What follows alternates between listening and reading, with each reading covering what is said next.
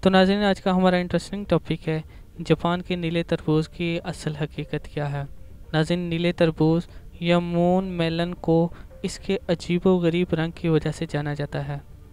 ناظرین، تربوز کے بارے میں کہا جاتا ہے کہ جاپان کے کچھ علاقوں میں پیدا ہوتا ہے۔ اس کی قیمت سولہ ین یا دو سو ڈالر ہوتی ہے۔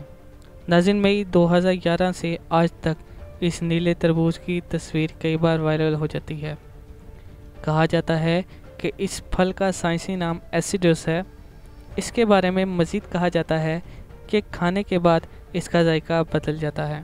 یعنی کھانے سے پہلے یہ میٹھا ہوتا ہو تو کھانے کے بعد اس کا ذائقہ نمکین ہو جائے گا۔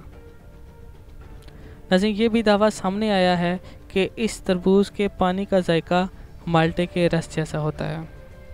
اسی وجہ سے اس کی قیمت سولہ ین یا دو سو ڈالر بتائی جاتی ہے۔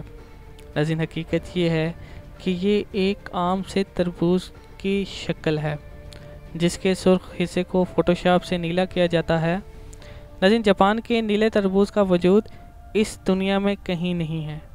تاہم مغربی افریقہ میں سائنس پالم ڈل سی فکم نامی ایسی پھلیاں حقیقت میں پائی جاتی ہیں جن کا ذائقہ کھانے کے بعد تبدیل ہو جاتا ہے۔ جیسا اگر وہ کھٹا ہے تو وہ میٹھا ہو جائے گا۔ نظر ذائقے کی تبدیلی کی وجہ اس میں شامل میرا کولین مالیکول ہوتے ہیں۔ جی ہاں ناظرین، یہ تھی آج کی ہماری ویڈیو۔ یہ تھا آج کا ہمارا انٹرسٹنگ ٹاپک اگر آپ کو ہماری یہ ویڈیو پسند آئی، اگر آپ کو ہماری انٹرسٹنگ ٹاپک پسند آیا، تو پلیز اس کو لائک کریں کمنٹ کریں شیئر کریں۔ اور ہمارے چینل کو سبسکرائب کرنا نہ بھولیں۔ Thanks for watching